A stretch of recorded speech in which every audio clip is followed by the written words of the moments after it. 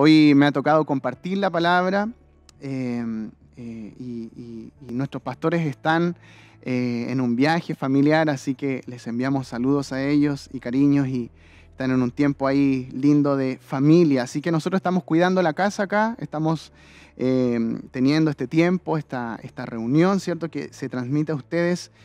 Y hoy día quiero compartir un tema que ha estado dando vuelta en mi corazón desde hace unos días, desde el sábado particularmente, después de una masiva de hombres que tuvimos, que estuvo bien, bien bueno, una palabra muy, muy importante para los varones que pudimos estar ahí conectados acerca de la verdadera masculinidad. No voy a hablar de eso, pero después de que tuvimos esa masiva, Dios empezó a hablar a mi corazón después de revisar nuevamente la, palabra que compartió el domingo pasado nuestro pastor Jairo y también el día miércoles por Nicole.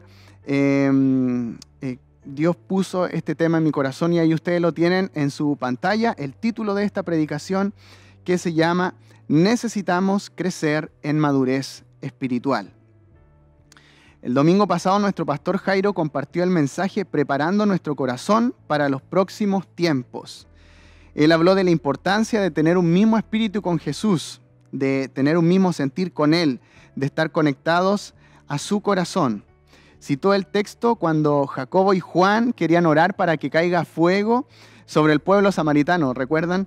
Eh, aquellos que no quisieron recibir a Jesús para que se alojara allí mientras iba en esta ruta hacia Jerusalén. Y no lo aceptaron, así que Jacobo y Juan Quisieron orar de que cayera fuego del cielo y los consumiera. Y Jesús rápidamente los reprendió eh, por tener esa actitud del corazón que era totalmente diferente al corazón de Jesús, ¿cierto?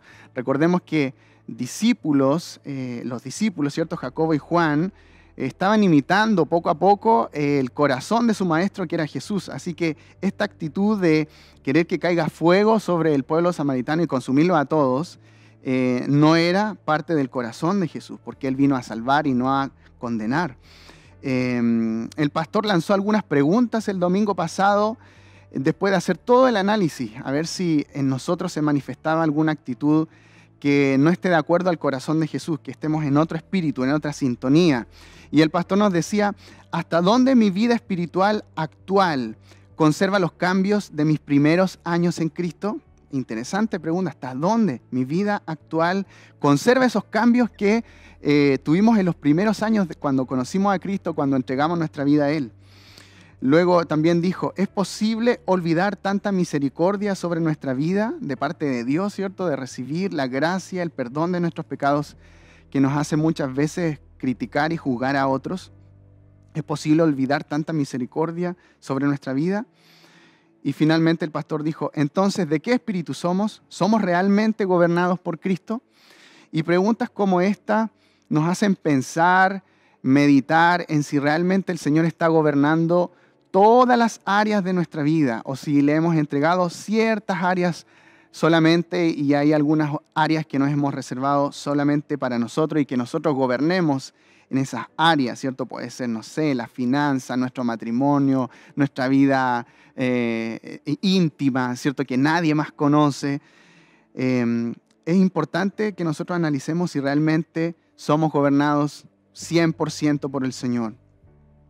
El miércoles pasado Nicole estuvo compartiendo acerca de realizar una resonancia magnética al corazón, como analizar nuestro corazón y ver si nosotros había síndromes de fariseo eh, o de fariseísmo, ¿cierto?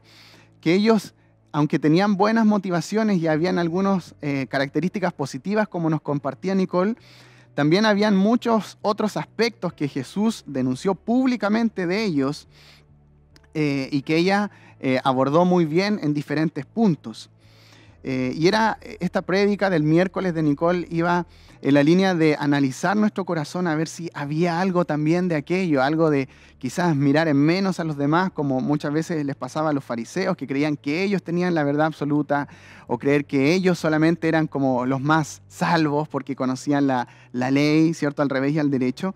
Em, pero también su corazón estaba muy apartado del Señor. Entonces, después de escuchar estas palabras, después de la masiva de hombres que tuvimos hace unos días atrás, em, empecé a preguntarle al Señor de qué compartir para este domingo. Y, y poco a poco el Señor empezó a traer estas ideas de la importancia de crecer en madurez, la importancia de avanzar en este caminar con Cristo, la importancia de no quedarnos eh, quizás como bebés espirituales y que pasen los años y los años y seguimos igual y pasan cinco años y vemos nuestra vida para atrás y vemos que, eh, como podríamos llamar que hay un estancamiento, que estamos ahí, que no avanzamos en este crecimiento en el Señor. Y, sin duda el Señor tiene mucho trabajo que hacer en nuestros corazones, como compartía Nicole el día miércoles, como compartía el pastor el día domingo. Hay muchas áreas en las que el Señor tiene que trabajar. Así que Em, vino muy fuerte esto sobre mi vida de la importancia de crecer en madurez espiritual, sobre todo en los tiempos que vivimos, ¿cierto? En medio de esta pandemia, que ya llevamos más de un año y medio casi, ¿cierto? En, esta situación, la crisis sanitaria que hay en nuestro país, eh, todo el contexto, la inestabilidad política y económica eh, que estamos enfrentando esta polarización, en, todo este contexto como, como país, eh, lo que está pasando en el mundo también, es importante crecer en madurez, como dice la Biblia, para no ser zarandeados por las olas y llevados de aquí para allá por toda clase de falsas enseñanzas, como dice la palabra en Efesios 4, 14, 5. Eso no está ahí en su pantalla, pero se los menciono. Y la palabra dice eso, que nosotros debemos crecer en madurez para no ser zarandeados por cualquier corriente de enseñanza o algo, una noticia, es el fin del tiempo ya, tenemos que crecer en madurez para poder discernir cosas como esas. Así que vamos a abordar algunas preguntas en, esta mañana. Por ejemplo, ¿qué es la madurez espiritual? ¿Cómo se alcanza? ¿Existen características o señales que evidencien la madurez espiritual? De eso vamos a estar compartiendo hoy día. Y el primer punto que tienen ahí eh, en sus pantallas es ¿Qué es la madurez espiritual y cómo se puede alcanzar? Ahí hay un detalle de eh, diferentes eh, tipos de crecimiento, ¿cierto? Ah, según la palabra, hay al menos cinco em, eh, palabras en griego, valga la redundancia, que, que definen el crecimiento de un creyente. El primero es el hijo nepios, que representa a bebés recién nacidos.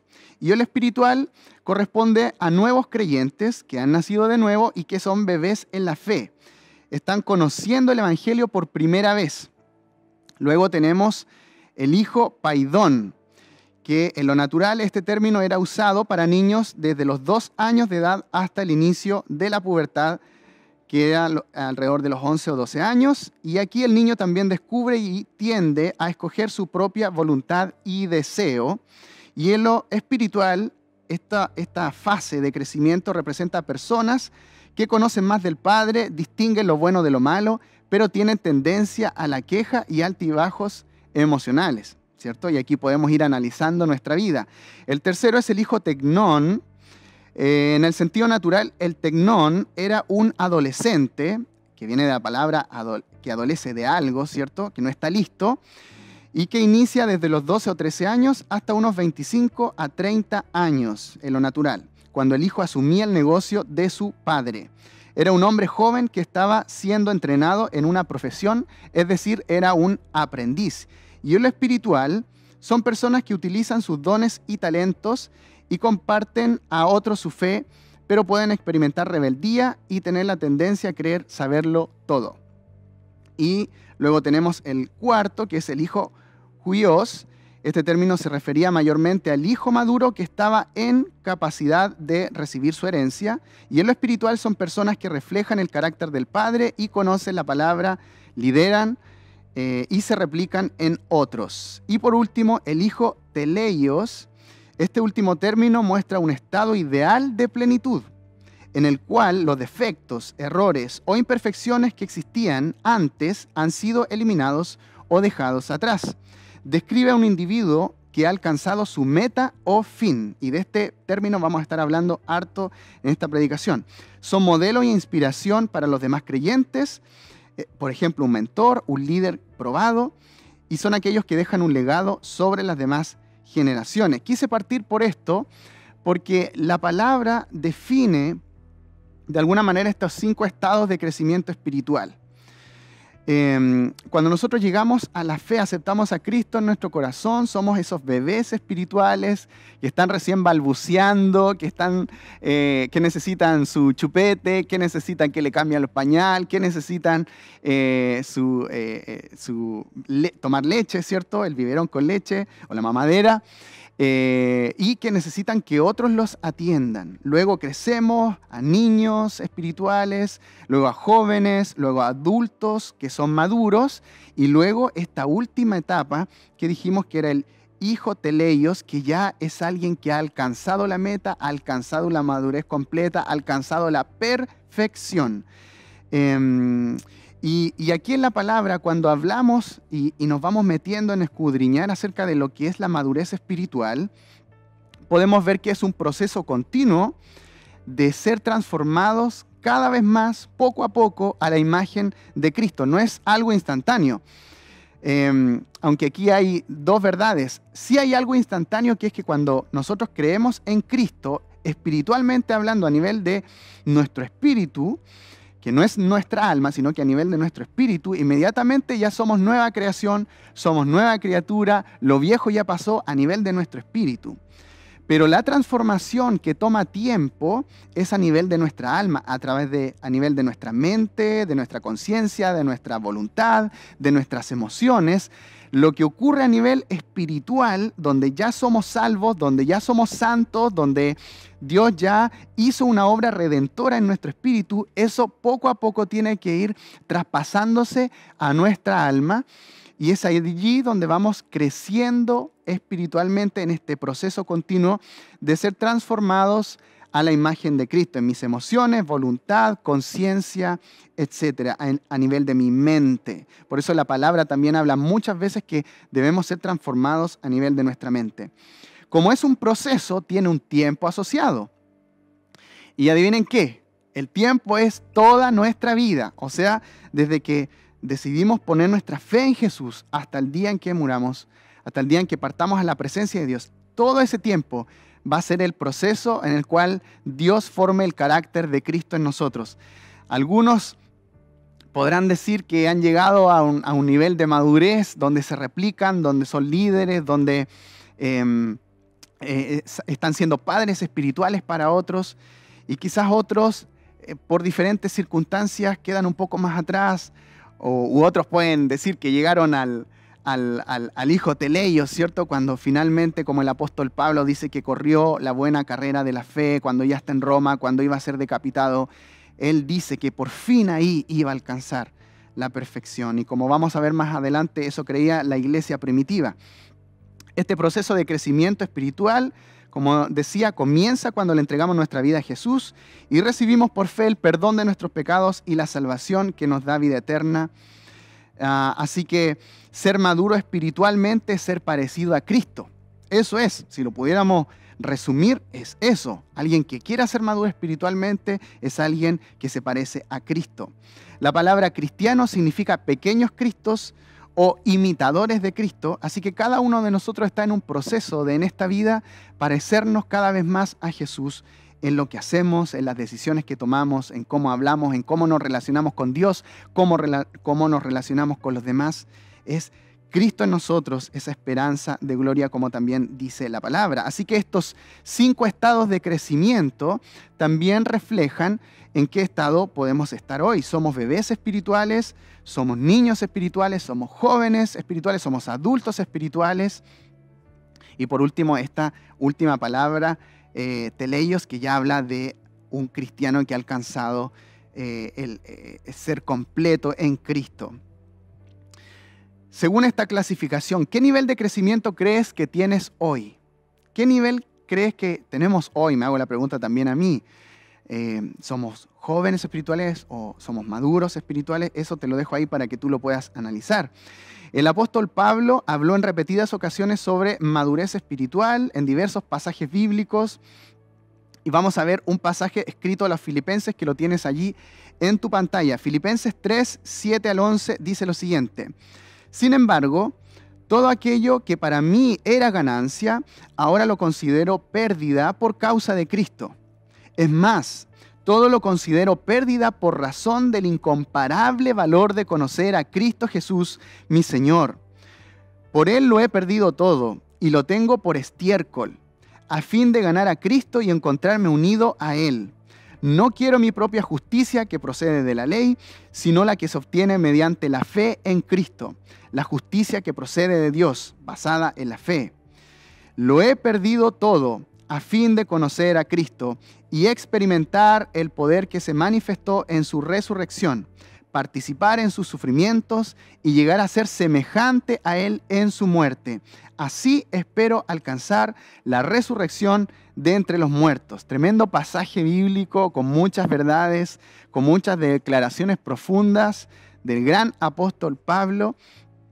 Eh, y lo que, primero que podemos decir es que la madurez espiritual no tiene que ver con un estado de pureza o santidad aparente, donde andamos con una aureola en la cabeza, tratando de ser mejores personas eh, y, todo por nuestra fuerza, ¿cierto? Tratando de impresionar al resto por los cambios que hemos tenido, eh, que ahora, no sé, somos buenas personas, tratamos de hacer el bien.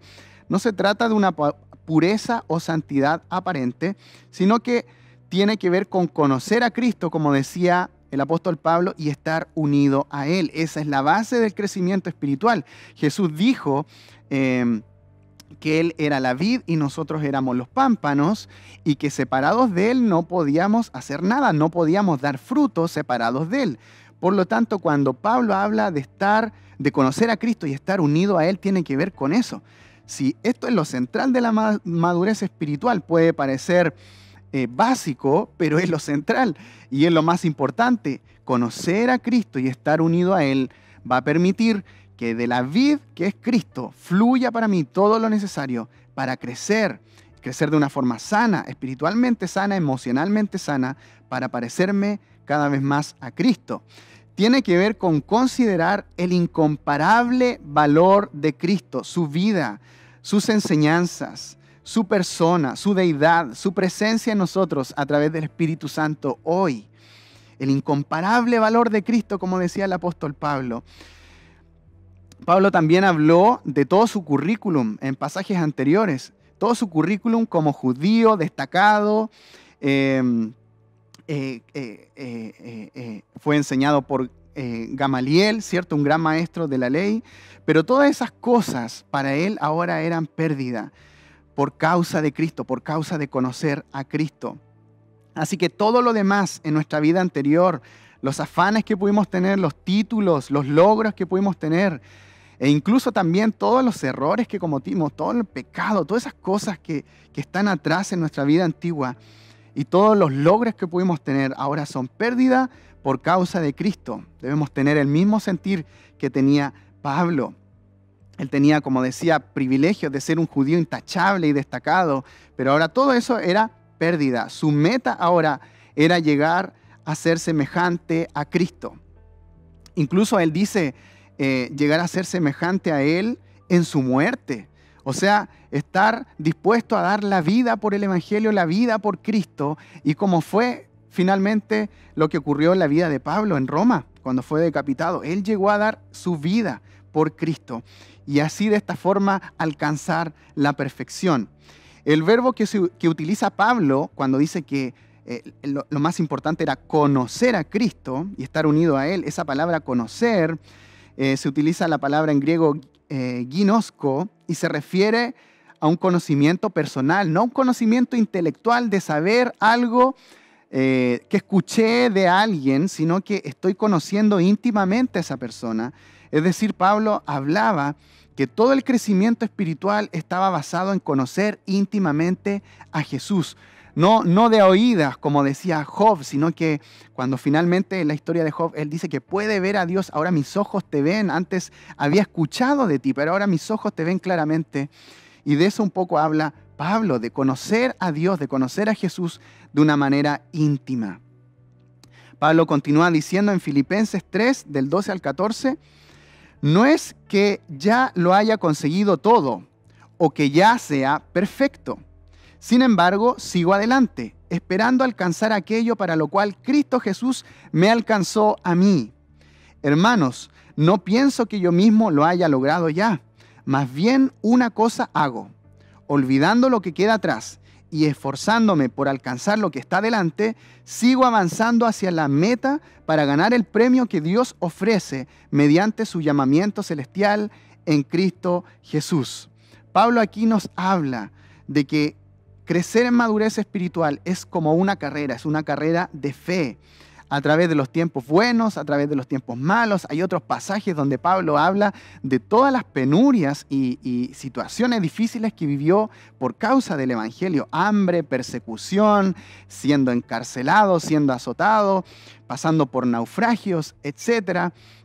Diferentes situaciones por causa del Evangelio. Así que en esta carrera de fe a veces también hay tiempos malos, tiempos donde nuestra fe es probada, donde nuestro carácter tiene que crecer, tiene que madurar, donde nuestra fe es puesta al horno de fuego para que sea purificada a través de la prueba, como también dice la palabra, donde hay también obstáculos para moldear el carácter de Cristo en nosotros.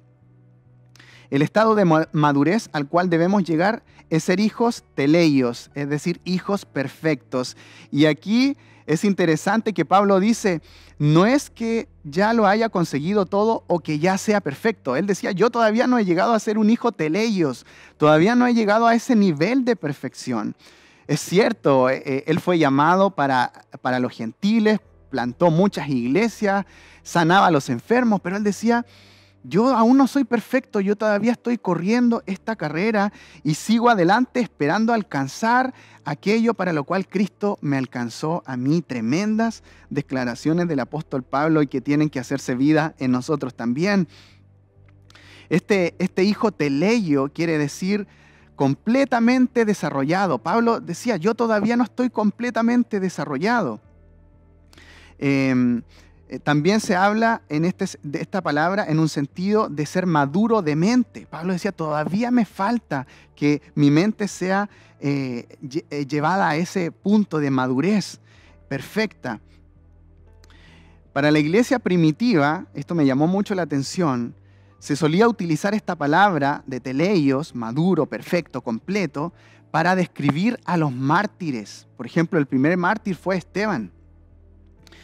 Y, leía en un comentario bíblico que la iglesia primitiva pensaba que cuando había un mártir, cuando alguien daba su vida por el Evangelio, como Esteban, como Pablo, como los demás apóstoles, ¿cierto? Que dieron su vida por el Evangelio. El último que quedó vivo fue Juan. Eh, la iglesia primitiva pensaba que el día de su muerte, el día que ellos estaban ahí dando su vida por el Evangelio, dando su vida por Cristo, se consideraba que ese día era el día de su perfeccionamiento. Era el día en que ellos se transformaban en hijos de leyos. Era ahí ese momento crucial donde ellos eh, terminaban su carrera de fe. Era ahí es donde ya no había más eh, proceso que seguir. Ya había llegado el momento del fin en sus vidas y era el momento en que eran perfeccionados, sobre todo allí en ese momento de dar su vida por el Evangelio. Probablemente por estas razones que Pablo en este texto menciona que él no es de ninguna manera un cristiano completo aún en ese momento, sino que sigue avanzando en esta carrera que se corre en fe de principio a fin, como también afirma la Escritura. Esta carrera es de fe todo el rato. Comenzamos teniendo fe en Cristo como nuestro Señor y Salvador y, nuestra fe tiene que continuar hasta el día que muramos, hasta el día en que vayamos a la presencia de Dios. Es esta carrera se corre en fe de principio a fin. Por eso nuestra fe tiene que ser probada muchas veces. Y por eso es tan importante la palabra, porque la fe viene por el oír y el oír la palabra. Pablo dice, sin embargo, sigo adelante esperando alcanzar aquello para lo cual Cristo Jesús me alcanzó a mí. Leía también otro comentario bíblico de ah, que quizás Pablo cuando habla de esto habla Jesús me alcanzó en Damasco cuando yo iba a entrar a la ciudad de Damasco. Ahí me alcanzó y él tenía un propósito conmigo que era eh, predicarle a los gentiles. De la misma forma para nosotros, debemos seguir adelante en esta carrera esperando alcanzar aquello para lo cual Cristo Jesús nos alcanzó a nosotros. Eso tiene que ver con propósito. ¿Para qué Dios nos llamó? ¿Para qué Dios cruzó su camino con nosotros aquí en Puerto Montt o en la ciudad donde conociste al Señor? ¿Para qué Dios cruzó su camino, tal como cuando apareció esta luz radiante y Pablo se fue para atrás con el caballo y escucha esta eh, voz de Jesús en medio de esa luz. ¿Para qué Cristo cruzó su camino con nosotros? Y es sin duda para testificar de Él. Es un llamado específico que tiene que ver con el Evangelio, con anunciar las buenas nuevas de salvación a toda persona, pero de una forma específica. Dios siempre nos llama a cada uno de nosotros con una tarea, con una asignación especial. Tiene que ver con el Evangelio, pero, pero cada uno de nosotros la desarrolla de una manera específica. En el caso de Pablo fue predicarle a los gentiles. Así que crecer en madurez espiritual también tiene que eh, ver con conocer nuestro propósito, para qué Dios cruzó su camino con el nuestro, para qué Él nos llamó. Pablo también afirma, más bien una cosa hago, olvidando lo que queda atrás y esforzándome por alcanzar lo que está delante. Lo que Pablo está diciendo es que debemos dejar atrás lo que hemos hecho. Él, en el caso de él, es tremendo su testimonio porque él fue perseguidor de la iglesia. ¿Y cómo tú pasas a ser de perseguidor de la iglesia, de una persona que mató cristianos y que condenó a cristianos a muerte, que estaba presente ahí cuando Esteban fue apedreado y, fue el primer mártir, ¿cierto?, de los cristianos? ¿Cómo pasas de ser un perseguidor de la iglesia a ser este apóstol que ahora está predicando a los gentiles que tiene que lidiar con una iglesia que al principio le tenía miedo y que él tuvo que testificar varias veces de que él realmente había tenido un encuentro con Jesús. Eh, y que ahora él estaba corriendo esta carrera de fe y eh, escribiendo cartas a las iglesias. Es tremendo. Y él dice, más bien una cosa hago, olvidando lo que queda atrás y esforzándome por alcanzar lo que está delante. Lo podemos interpretar como dejando el lastre atrás, dejando esas cosas que me estorban, dejando quizás los errores del pasado, dejando atrás todo estorbo que me impida correr esta carrera en Cristo de manera libre. Despojarnos de todo lastre que nos estorba en este camino de madurez espiritual. El segundo punto que quiero compartir con ustedes, y lo tienen ahí en su pantalla, es que debemos correr esta carrera fijando nuestra mirada en Cristo. Pablo también dice lo siguiente a los hebreos. Por lo tanto, Hebreos 12, del 1 al 2, por lo tanto, también nosotros, que estamos rodeados de una multitud tan grande de testigos, despojémonos del lastre que nos estorba, que es lo que estábamos hablando, en especial del pecado que nos asedia, y corramos con perseverancia la carrera que tenemos por delante, fijemos la mirada en Jesús, el iniciador y perfeccionador de nuestra fe, quien por el gozo que le esperaba soportó la cruz, menospreciando la vergüenza que ella significaba, y ahora está sentado a la derecha del trono de Dios. Para correr esta carrera de crecimiento y madurez espiritual, tenemos que tener puestos nuestros ojos en la meta. Nadie corre una carrera, ¿cierto? Mirando para cualquier lado, eh, eh, quedándose pegado, no sé, en cualquier cosa, en la tribuna o en, una, en un ave que va pasando por ahí corriendo. Todos vamos eh, en, viendo una meta, ya sea que seas atleta o ya sea que te, te propongas algo en la vida, todos vamos concentrados en ese norte, en esa visión de ver la meta de, hacia dónde queremos llegar. De la misma forma, esta carrera de fe, eh, en esta carrera de fe tenemos que tener puestos nuestros ojos en la meta que es Cristo. Es como si tuviéramos una, una banda ahí de, de, que vamos a llegar a la meta y la banda dice Cristo. Esa es mi meta. Ahí yo debo llegar. Parecerme a Él, ser parecido a Él, ser transformado a su imagen. Que, que el Carlos, que es carnal, que, que tiene tantos defectos y errores, pueda menguar para que Cristo o este Carlos espiritual eh, en semejanza a Cristo pueda crecer. Esa es nuestra meta dice la palabra que tenemos que colocar nuestra mirada en Él, que es el autor y perfeccionador de nuestra fe, o quien inició nuestra fe, el iniciador de nuestra fe.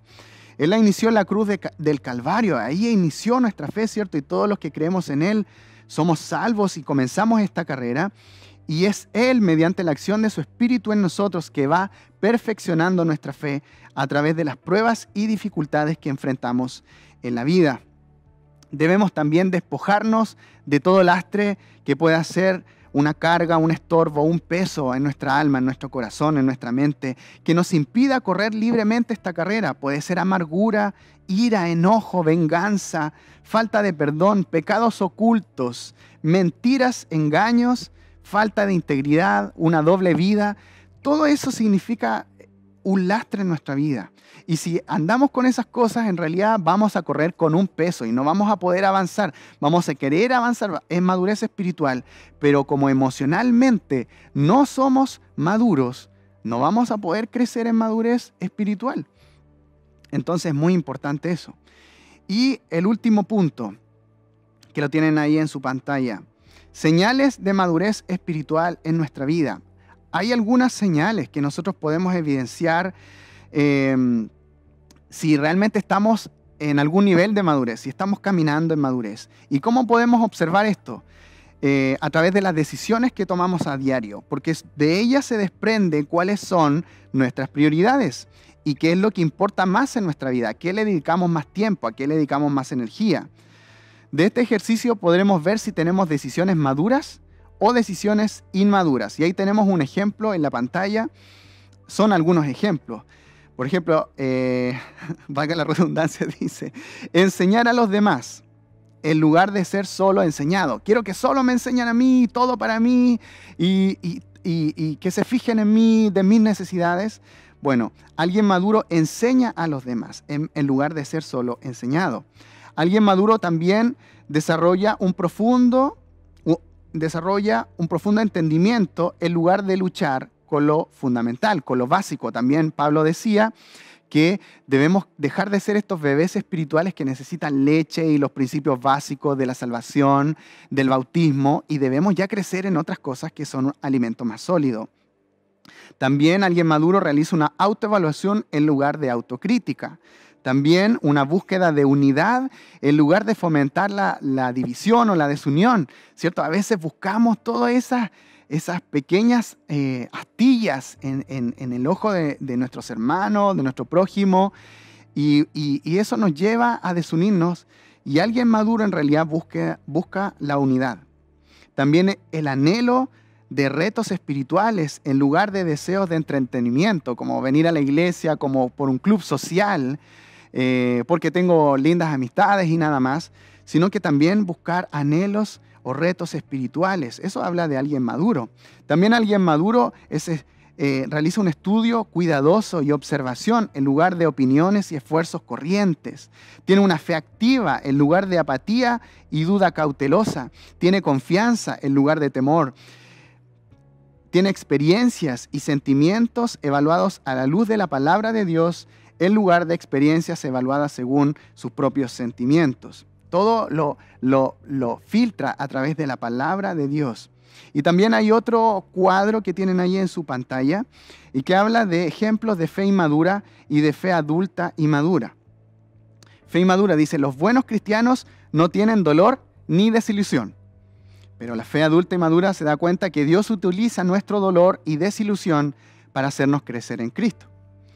La fe madura dice, Dios quiere hacernos felices.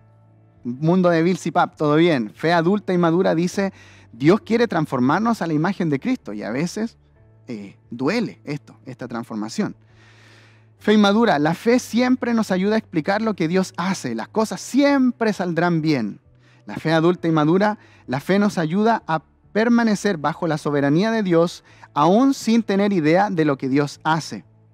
Otro ejemplo, los buenos cristianos siempre son fuertes, pero la fe adulta y madura dice, nuestra fuerza se encuentra en admitir nuestra debilidad. Diga el débil, fuerte soy. Fe inmadura, el último ejemplo, pertenecemos a la iglesia porque nuestros amigos están allí, tenemos excelentes líderes y nos benefician mucho. Fe adulta y madura, pertenecemos a la iglesia porque somos parte del cuerpo de Cristo y no de un club social. Entonces, quiero que podamos reflexionar en esto, familia, para ir terminando. Que reflexionemos en qué nivel de madurez estamos. Sabemos que esto va a durar toda nuestra vida, pero no por eso nos vamos a relajar. Sobre todo ahora en tiempos de pandemia, donde no nos hemos podido reunir, donde la vida en comunidad no, no se ha podido desarrollar con ese abrazo y con el vernos y con el tomarnos un café en el patio de luz y hablar de la vida y del Señor, hablar de las problemáticas o orar ahí imponer manos y orar unos por otros.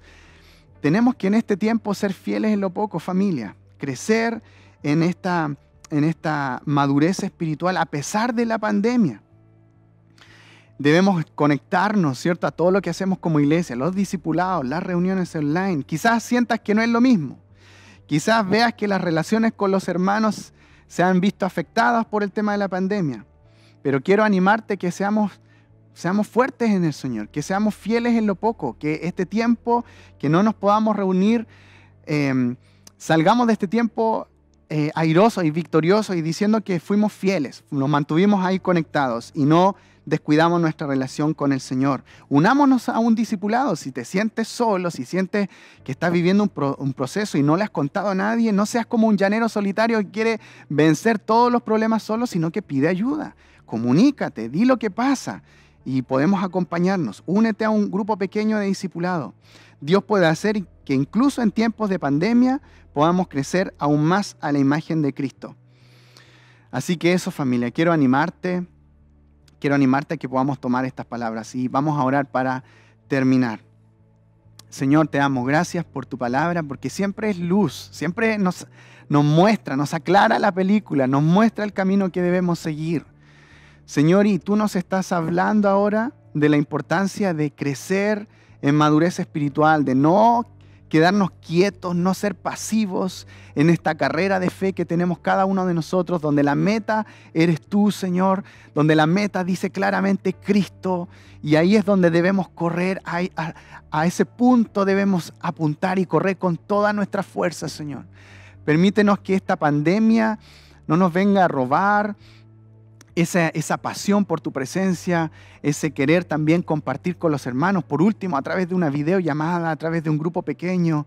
Señor, pero permítenos que en este tiempo de pandemia podamos crecer, Señor. Y si en algún área estábamos estancados y estábamos como viviendo nuestros procesos solos, sin contarles a nadie, sin abrir nuestro corazón con otros, por vergüenza o por simplemente creer que, que esta pandemia vino a, afectar las relaciones al interior de la iglesia. Yo oro, Señor, para que cambies nuestra visión de las cosas y para que podamos ser de aquellos que abren el corazón para contar cómo estamos y podamos crecer juntos, Señor, en esta carrera de la fe, donde todos estamos aprendiendo, todos estamos corriendo en diferentes posiciones, pero finalmente todos vamos en la misma meta. Señor, gracias por este tiempo y te adoramos en el nombre de Jesús. Amén y amén.